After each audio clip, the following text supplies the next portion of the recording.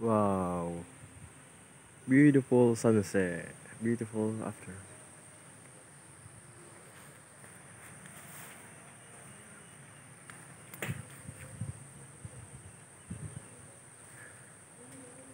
This is Philippines.